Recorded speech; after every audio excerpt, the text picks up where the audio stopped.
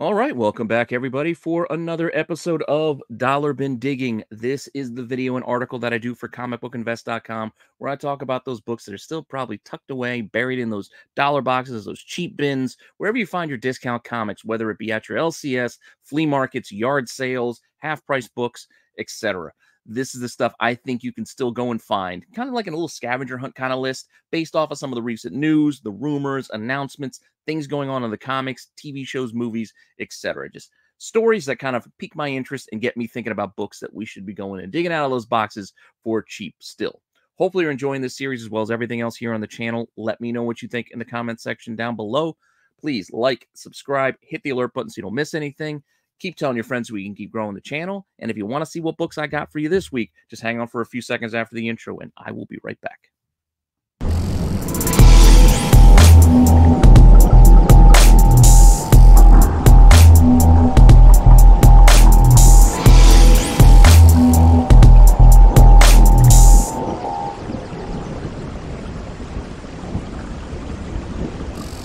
All right, so kicking us off this week, we are going to start off with some Doctor Strange news. So apparently, Doctor Strange 3 might adapt the Time Runs Out storyline. If you guys aren't aware, this was the storyline that kind of set up Secret Wars, the second version, not the original version. This is the Hickman run. Yeah, Molecule Man, you had Emperor God Doom, etc. Great read, very large buildup. I mean, we're talking this is a long buildup. This is this is a this is months, months of buildup, a lot of issues in this story. How will they adapt all of this? I don't know, but we'll see. We'll see if this all comes to pass. It makes a lot of sense, but who knows? Right now, it is just rumor, but that doesn't mean we can't go and look for these books for cheap. And what I'm going to tell you to do is look for the entire run. That's right. Sure, particular issues will get you a bit of a bonus, you know, a little bit of a you know bump if you're trying to flip it, but for the read alone, go and grab any of these issues Avengers and New Avengers as they wrapped up the Time Runs Out storyline, starting with this one. Everybody's been looking at this book lately. It's been selling pretty well. It's even going to make the top 10 in 10 for this week.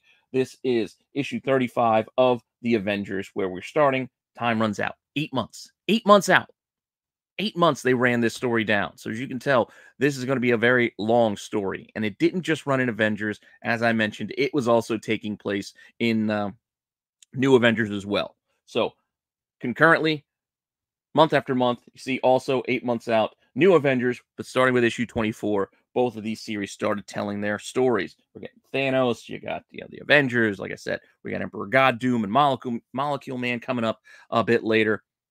Fun read, great read, great build up, and it was actually a very satisfying event.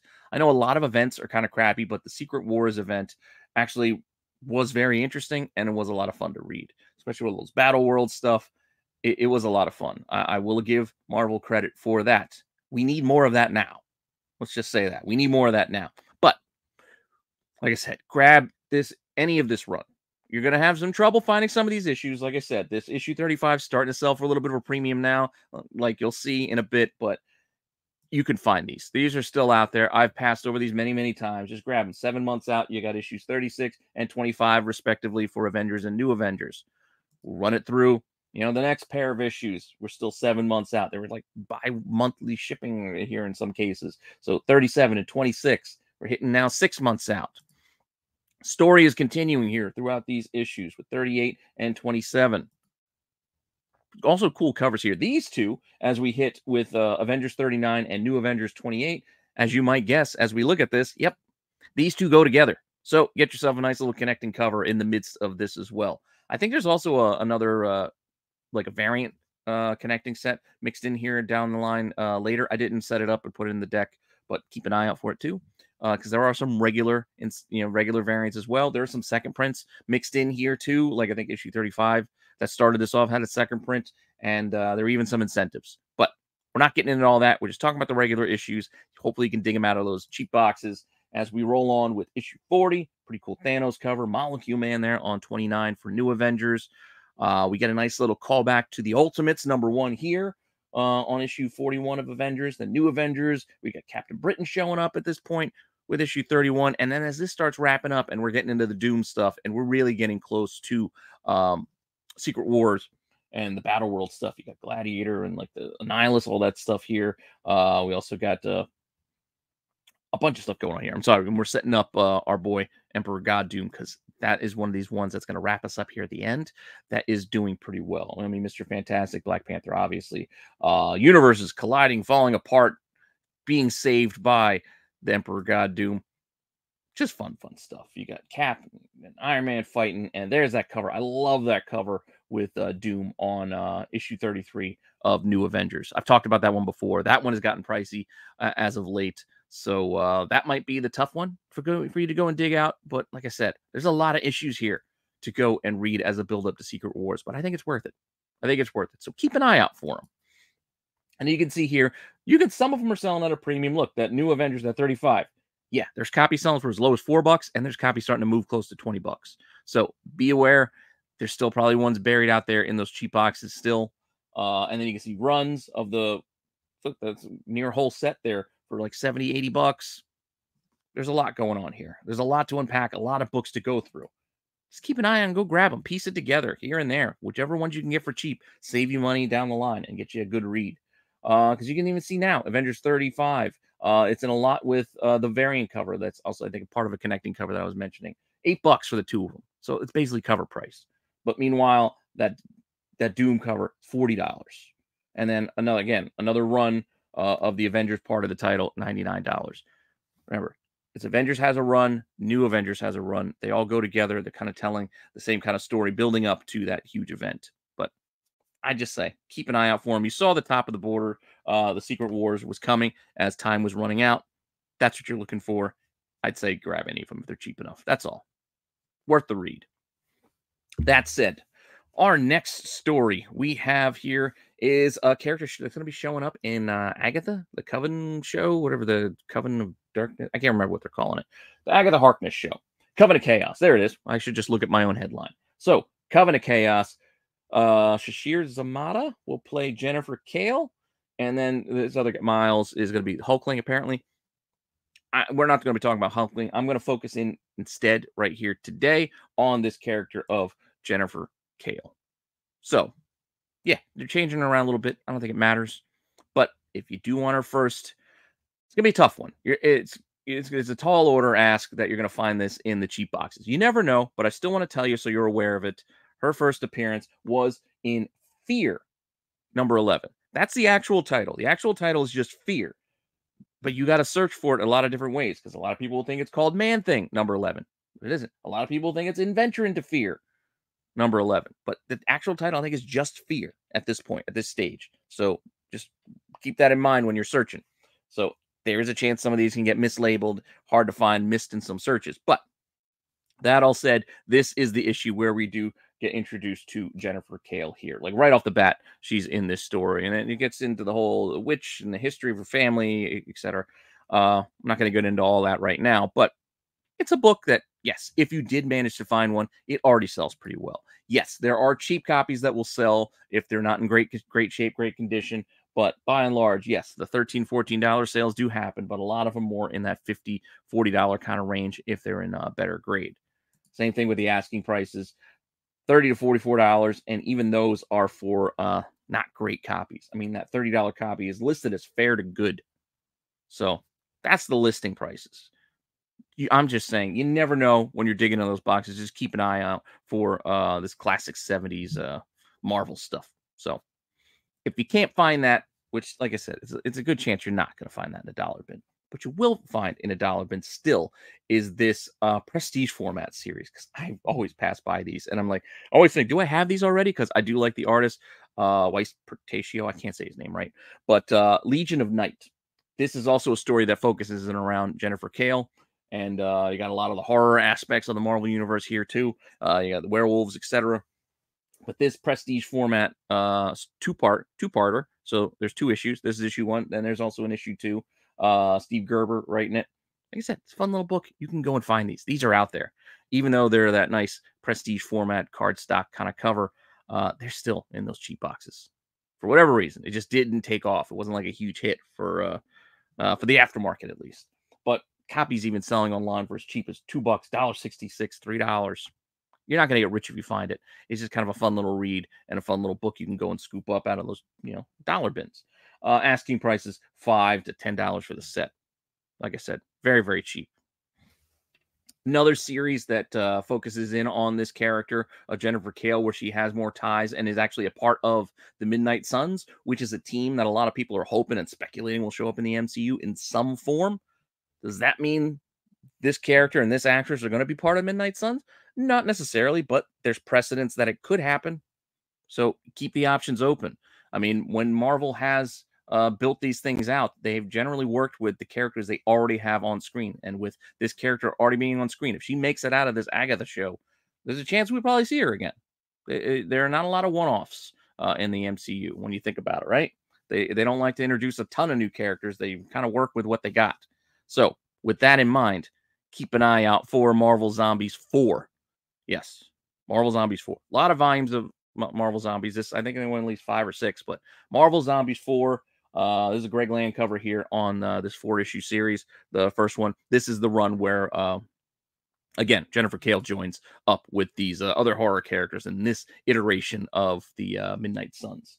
But great covers here throughout. You got issue two, three, and four. Uh, I like them all. So if you can find them, just get them for the covers alone. And I think it's worth a buck if you can dig them out. But you can see here, they do okay. So with prices of the whole set just being like 20 $25. So it's four issues for 20 $25. It's four, four or five buck, you know, bucks a book, really. I mean, it's not really that super duper expensive. So they're still pretty cheap. You're not going to get rich if you find these, but you get some cool covers and a decent read at the same time asking prices, uh, individual copies, four to six bucks each, like I was saying. And you look, you can even sometimes sneak a whole set for as cheap as sixteen dollars. But granted, you got to pay shipping, but it's only five bucks shipping, so that's not that bad when you think about it. So just something else you can keep in mind if you're interested in this character and want to just have something in your back pocket in case this character hits, or you just want to have something fun to read and, you're just looking for something to kind of tie in and get you excited for this next uh, Disney Plus show. That said, Another character. I've talked about this character before. I think it was on a Forgotten First episode. I was looking to see if I did this in Dollar Bin Digging before, but I think it was on my Forgotten First series, and that is um, Emilia Harcourt. So apparently, there's just some uh, you know questions because James Gunn is uh you know now in charge of the DCU movie universe, and he has uh you know got I think they got engaged. I don't know if they got married yet, but he has ties with the actress playing this character of Emilia Harcourt, who is no longer in the comics. So they did kind of recently bring her back uh, in the comics. So now there's questions like, "Oh, did, did James Gunn have that happen because you know of his girl?" Hey, who knows? Doesn't matter. I don't think it matters. We characters come back all the time in comics. They're comics, after all. That said, we know we're still going to see more of her in the uh, in the DC universe going forward. She has a uh, pretty significant role there on Peacemaker, where we're going to get another season of that. More Suicide Squad stuff, potential for her to see her there. But that said, if you're interested in the character of Emilia Harcourt, you can still go and find her first appearance because it is a heavily printed book that is littering a lot of those dollar bins and uh, cheap boxes out there. And that book is not Suicide Squad number one, as some online places will direct you towards. I scoured that first issue, did not see hide nor hair of her. It's not until issue two did I see Emilia Harcourt show up. So I don't know why uh, some places online are pointing to her the first issue because I didn't see her in there. Unless there's some weird background silhouette that I'm missing, uh, then whatever. But Suicide Squad number two, uh, this is the Jim Lee cover, pretty awesome. There's a Lee Bermejo cover as well, pretty sweet. But inside, very clearly, you know, you can call me Harcourt. There, she's there. She's in the story. Uh, not a ton, but it's not just like this one panel. She's she's in the story a tiny bit. So, uh, this would be his first appearance, I would say. Unless you guys want to start debating and all that stuff, you go ahead. I don't really care. I'm just showing you what's in there and telling you what's in there. And for a dollar, I'd say go grab it. That's all. Uh, and copies even sell for as low as 99 cents online or five bucks. Again, not going to make you rich, but hey, who knows down the line a copy's asking uh three to four dollars too. So basically cover price or less. Like I said, this is the start of Rebirth. Very popular at the time with Suicide Squad. Jim Lee was doing the art. This was printed pretty well. So there's plenty out there. All right. Uh, another story they're going to go shift on over to. I think I got two more for you. So not a lot left. Probably be about 20 minutes here. Uh, that's kind of what I shoot for with these shows anyway. But Archie. So Archie's first trans character is getting her own comic. Yeah. So they're kind of retconning, I think, a little bit of uh, this character from the past, but here we go. In this upcoming Strange Science book, Chilling Adventures presents Strange Science. So it's like a subset, one shot offshoot of Chilling Adventures, I guess. Uh, we're getting Strange Science. And this is going to feature this character who first appeared, if you want to go and dig back there, Dilton's Strange Science. So you got shrink rays, all this weird fun stuff. Uh, so there you go. If you're interested, this oddball Archie book from back in the day is the first appearance of a character that's getting a little spinoff. So if you're interested, go and find it. If not, then you can just pass it up. You know, I'm not saying you have to buy any of this stuff. It's up to you. It's just fun stuff that I think you can go and dig out of those cheap boxes. Because look, even this thing doesn't sell for all that much. Recent sales, cheapest three bucks, and that's with other issues included. Uh, it's seven dollars. Asking prices three bucks, five bucks, up to fifteen at the most. So it's not really going to make you rich if you go and find this, but you know, it's out there. It's out there if you want to go and dig it up there. So just keep it in mind.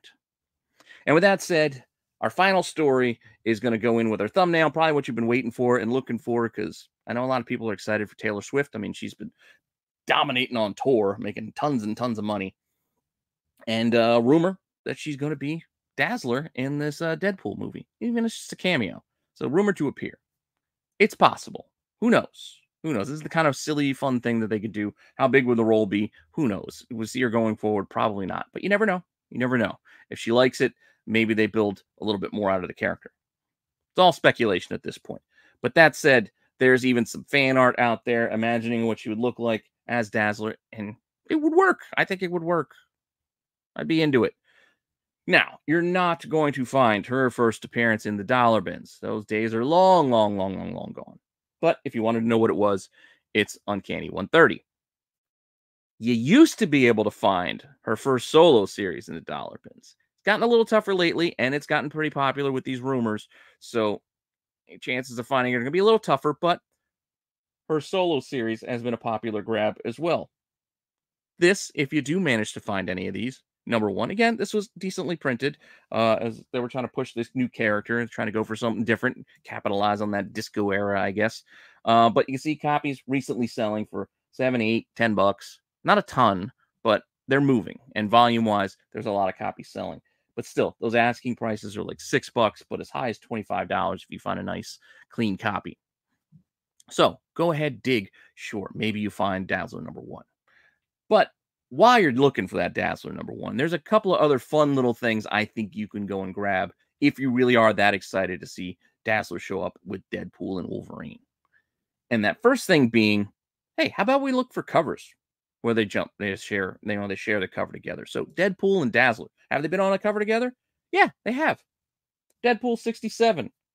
Disco roller skating here, kind of fun going to be tough. I mean, these Deadpool books have been kind of tough to find uh, as time has gone on. Like the earlier runs, those earlier runs have been a little tough uh, because Deadpool's become a very popular character. So these things have sold for more than a dollar. So it's gotten tough to find these things, but that doesn't mean you can't go and look, and it doesn't mean you can't find them.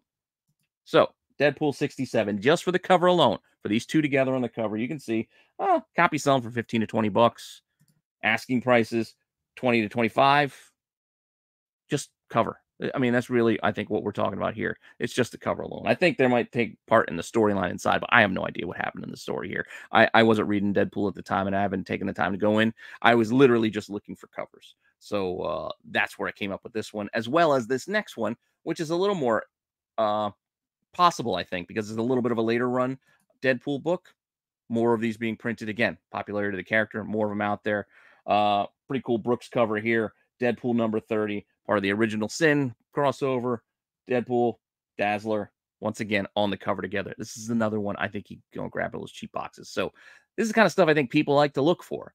I mean, there's no real long-term investment potential here. It's just kind of a fun little nugget, something you can go and grab now. And if you want to try to flip it, you might have an opportunity if this story does come to fruition. There might be a window there where these books just start selling for like the other book, 20 $25. Because right now, this one is only selling for what is it at?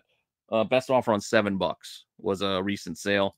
Asking prices three dollars, dollar seventy five. six bucks. So this is a very, very cheap book. But like I said, you never know. There's potential if you want to try to flip it down the line. If not, and it never comes to pass, well, you wasted a dollar.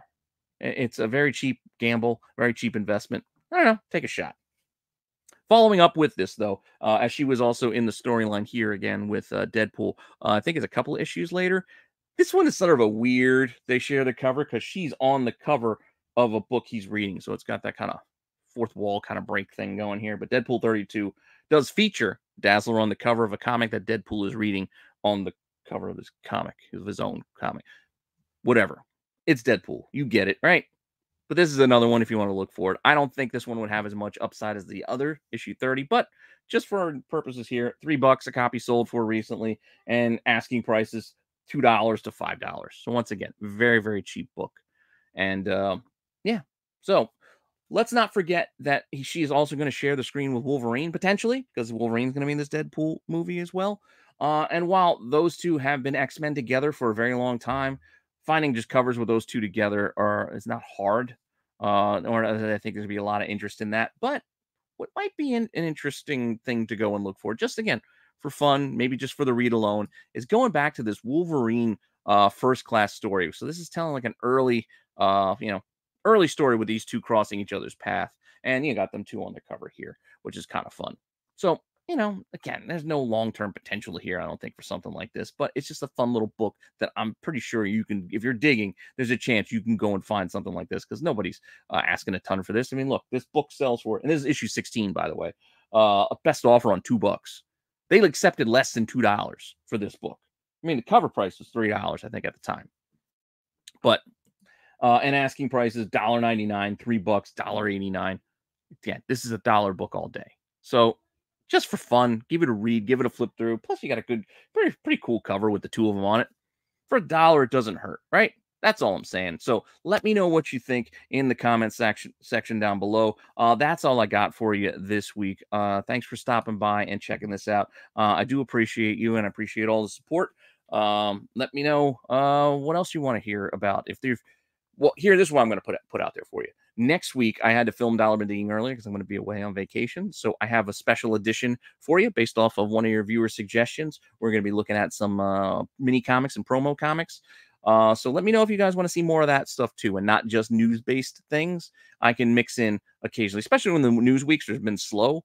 Uh, I can do like a special edition, something about like you know maybe Wizard one half issues or the Wizard free issues or some of those uh, other ash cans is another idea uh, I've been kicking around of things we can do because those are the types of things you can sometimes find just in those cheap boxes, just stuck between books. You're like, what is this? And there's like a little ash can of like pit down there for some reason.